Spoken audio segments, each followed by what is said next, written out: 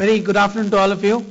Uh, it's a great pleasure. I want to thank the organizers uh, for giving us an opportunity and to showcase some of the uh, composite activities uh, going on in NAL. The first thing is the initial title is manufacturing and certification and then I realized each would take half an hour and so the paper that we have written is uh, is there on the certification. So I will focus on the uh, manufacturing aspects of composite structures. What are the issues and what are the challenges? And what I would like to say here is this is an effort put in by NAL Advanced Composites Division for the last two decades. So what you're going to actually see is an evolution of the development of composite structures over the last two decades by a number of dedicated people within our division. And I have really the privilege to present this activity to you. And just to briefly tell you, NAL is one of the constituent labs of CSIR and focusing exclusively on aerospace and has all the disciplines. And what is one of the main things is the composites. As I was uh, dwelling on this topic yesterday evening, I we normally speak in composite conferences, and then I realized that I'm speaking at really a more general conference where there are many students, and so there is I don't know how many are from the structures background and how many are specifically from the composites background. So for the composite experts, pardon my indulgence for a couple of minutes. So what I want to just say is, what are these composites? Before I get into details, what is that I'm talking about? The composite is nothing but putting two materials together to work in synergy. And for the students, the composites are everywhere. You can look at nature. It is the super teacher. Your tree is the perfect example for a wonderful composite. And no offense to the metal people, had it been made in metal, the tree would not have survived all these years. So you look at another phenomenal example of your tooth is a phenomenal example of a ceramic composite made at room temperature. While with all our ad- advancements today, we still make ceramic composites at 700 degrees centigrade. So we have to learn a lot from nature. And the way the composites are made, and I specifically talk about polymer matrix, continuous fiber, specifically carbon fiber composites, is a very constructive process. So if you take, we are all used, we know how metal structures are made. We take a huge block of material and slowly we remove 95%, 96%, and get our final component. So it's a kind of a destructive process of generating composites, of generating the final product. Whereas if we look at the composites, it is a very constructive way. So we take essentially, we have, it's like a sheet of paper where the fiber with the resin is called a prepreg, is already available to you, and you build it layer by layer by layer. So it's a very constructive way of doing things, much akin to what's happening in nature. So I think with that very brief uh, introduction to composites, NAL's core strength is we have many uh, areas of composites, design and analysis, manufacturing, repair, NDE, uh, testing, process development, and one of the important aspects to realize when we do composite manufacturing is that it is a concurrent approach with the design. The design person has to work at all times along with the manufacturing person to realize these composite structures. As I go ahead, I will uh, show you some case studies where this becomes evident. And the evolution of composites at NAL started in 80s and uh, made significant contributions to the Tejas aircraft, which I'll show you. And now we have our own 14-seater Saras aircraft program, where a lot of the structures are made in composites, and there is a proposal to build a 110-seater uh, civil aircraft.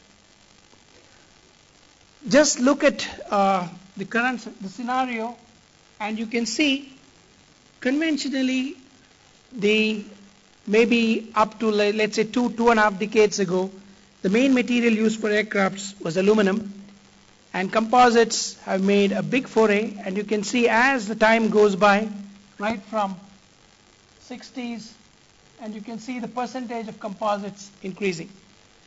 Principally, one of the advantages is aluminum has a specific gravity of 2.7, your composite has 1.5. And it has much higher specific strength, specific stiffness, corrosion resistance, fatigue insensitivity, and many more properties.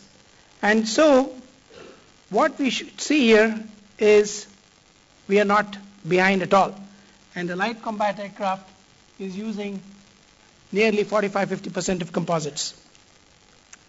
So this is primarily the light combat aircraft, and you can see many of the structures here made in composites, and we will get into that in a little while. I think this is a very important uh, slide, uh, which we have seen for quite some time. So if you look at the way, if you look at a typical structure of an aircraft, it has got two skins, it has got ribs, it has got spars. And the conventional way of making these structures, if you look at the metal, is you make everything individually and you mechanically fasten it. I think many people tried this in the 60s, 70s. They had metal designers and these structures failed in composites. And so then they decided they should look for new designers who think differently and the way we do composites is extremely different. There are two ways that you can do it. One is called a co-bonding route, where you make the part separately and you can bond it. The other is called a co-curing route. That means I make all my structure in one shot. My rib, my skin, everything is put together in the green stage and you realize this structure in one single piece. And if you look at this, if this is 1, and if I go to the co-curing, the production time comes to 0.8, cost is 0.85, the structural efficiency is 1.25, and you get a weight saving of 20%, typically 15 to 25%. So the key aspect is you have to try and do as much as co-curing as possible. So I think I will not uh, get into the details of co-curing versus co-bonding.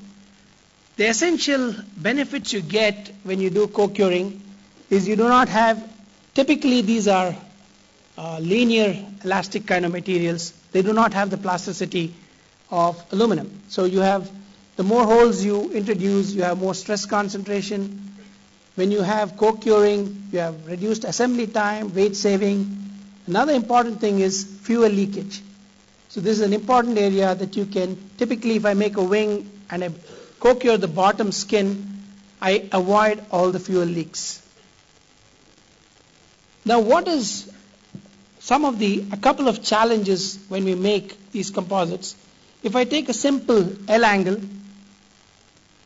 and when we make this, if I start with 90 degrees, when I finish the part and cure it, it becomes 88 degrees, 87 degrees, maybe 88.5 degrees. So this is called a spring-in phenomena in composites. This is this makes life quite complex because we are not making simple L angles.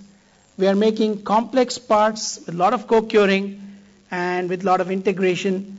So how does this behave from the time you thought that it would behave in a certain manner and what you realize in the end? So the reasons are many, and once you these distortions are there, it becomes complex. The tool design becomes quite complex. And very interestingly, if you see today, we have a lot of analysis that is being done on the component, but hardly there is much effort on understanding the effect of the tool. The tool has to go to 175 degrees, you know, 250 times. So what happens to the tool? I think a lot more analytical capabilities need to be built in on these uh, effects on the tool. So this is one aspect, and there are number of solutions that you can do, which I think uh, is may not be something we'll dwell on here. So now let me just get to some of the challenges we have faced in making some of these composite structures. So if you look at the LCA, this is the, the rudder of the LCA, and this is the torque shaft. The torque shaft was origin, originally made in titanium, and I think it used to cost a humongous amount of money, and it used to be very, uh, the weight also was much higher.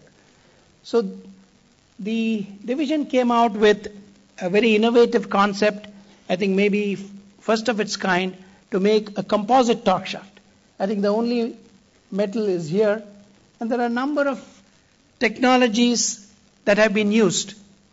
We have used innovative tooling technologies like dissolvable cores, and we have used filament winding, and so a number of different processes to realize this torque shaft. And what we saw is came there was a huge benefit that we got, nearly savings of 30% in cost and 20% in weight. So this was, uh, this is now actually uh, integrated as part of the rudder and is as has been flying for the last, I think, in the last 10 or 12 aircrafts. So this is an, a very innovative. Uh, the number of challenges you face is when you make these aircraft structures, the tolerances are very, very stringent and they're all in 0.5 millimeters. And that is where now we are facing a lot of problems. We did a number of development activities, and now the tolerances are 1 mm, and our certification authority says I want it within 0.5 mm. And this is a huge challenge to realize these co-curing structures in such a manner. The fin of the LCA is another very interesting case and you can see this is the main box called the torsional box. And there are one, two, three, four, five, six parts and two skins, all made in one single piece. We took a few years. We realized this first, and then there is a midrib over here that has to come. And then we evolved further and were able to integrate that midrib too and make the structure entirely in one single piece. And you can look at the benefits over here. The huge benefit is your weight, which is the most important. You look at the number of fasteners, 2,500 fasteners to zero, and assembly of four weeks to zero. You got a part that can readily go onto the assembly jig and get assembled to the other parts. These are a number of center large parts for the LCA. And you can see these are all made in one single operation. And when I was saying the real challenge in realizing this, if I look at this, let's say one stringer, that has to be exactly in the same position every time, and that position shouldn't vary more than one millimeter. And so this, to realize in production, is quite challenging, and that's where we are uh, trying to improve the technologies further. Now, from the LCA, we moved on to the Saras aircraft, which is a 14-seater uh, aircraft. And a number of parts here, we started with the control surfaces, and then because of the weight, uh, uh, the challenges, and to redesign to get a lower weight, the entire empennage and the wing were converted to composites. And what is more interesting is generally composites are made by a process called prepregs and autoclave molding. So you have to take these into an autoclave, which is an oven essentially, and you pressurize it to 7 bar, and so these are expensive. So when you go for an autoclave molding process, the costs are high. And as you know, in civil aircraft, cost is a major driving factor. So you want to reduce cost. So resin infusion technologies have been there now last 10 years, and NAL has come out with its own uh, technology of this resin infusion called vacuum enhanced resin infusion technology. So these were the control surfaces, and this is the horizontal tail. I think once again, quite a unique structure. You can look at the bottom skin. There are ribs, there are stringers, there are two spars. This whole uh, unit is made in one single shot. And when you look at it, you get a 24% weight saving. 243 parts, if I made it, would be in metal, and it becomes 11. And the number of fasteners also comes down dramatically. And so this is the model, and you can see some more details. So the challenge in manufacturing these is really the tooling. The crux is in the tooling, and your part is as good as your tool. And so there is a very innovative, we make, another interesting thing is generally we make the tools also out of composites. Because there is also an issue of coefficient of the mismatch in CTE, in thermal expansion. So we develop the outer tools in composites. Then we got to develop all the stringer tools and we got to integrate all these. And then typically, like a marriage, you know, if both the husband and wife are both very rigid, you end up in a divorce. So in the composite tooling, it is like that. So we have rigid outer tools and very flexible in inner tools. So the flexible tool is placed inside. The entire thing is bagged and it's put into an autoclave and cured. So how do you realize these tools? What kind of materials to use? What kind of tolerances? This is the real challenge in composite manufacturing. And this is, these are the various stages I showed you. And you can see all these parts are integrated and the bagging. This is the vacuum bagging, I think, is maybe uh, too detailed to get in here. So when you talk about composite structures, the vacuum bagging is a very important uh, part of the technology. Air is your big enemy. So when you are in this autoclave at 7 bar pressure, and if air gets into your part, it stays there and it can get rejected. So your technology of vacuum bagging is very important. And this is essentially the same thing I've demonstrated. Another interesting, different kind of structure is the rear pressure bulkhead. And this is where, as you walk in the aircraft, you reach the dead end. That's the pressurized zone. And then you have the non pressurized zone. And if you look at this pressure bulkhead, I think uh, the, the motivation was we saw Airbus had made this pressure bulkhead in a resin infusion technology where the skin is different and the ring was made separately and then integrated.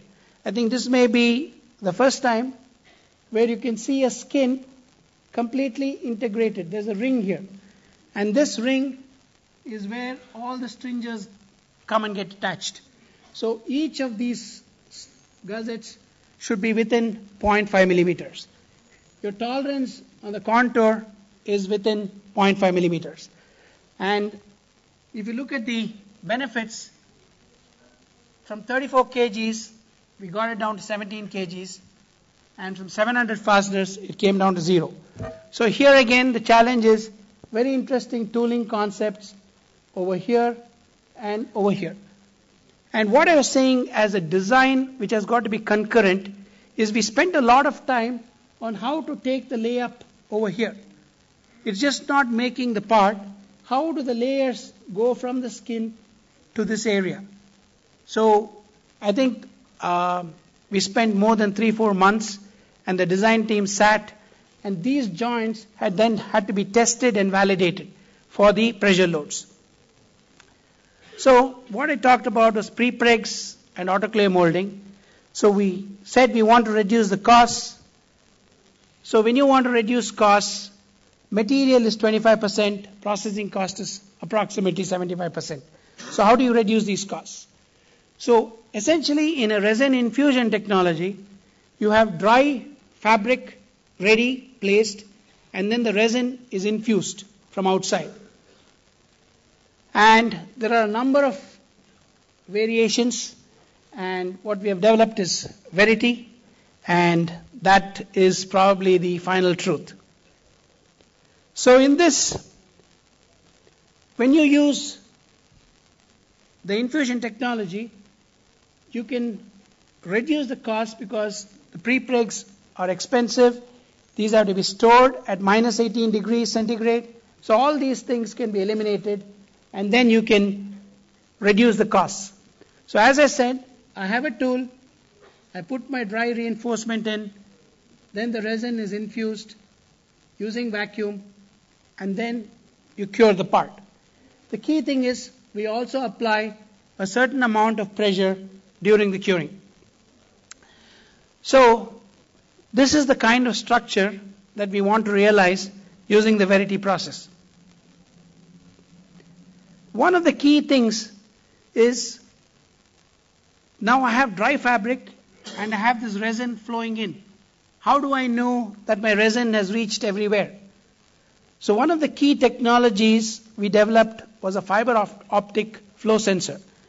So you can see in a typical laminate I'm showing you, there are fiber optic, these are bare, bare fibers.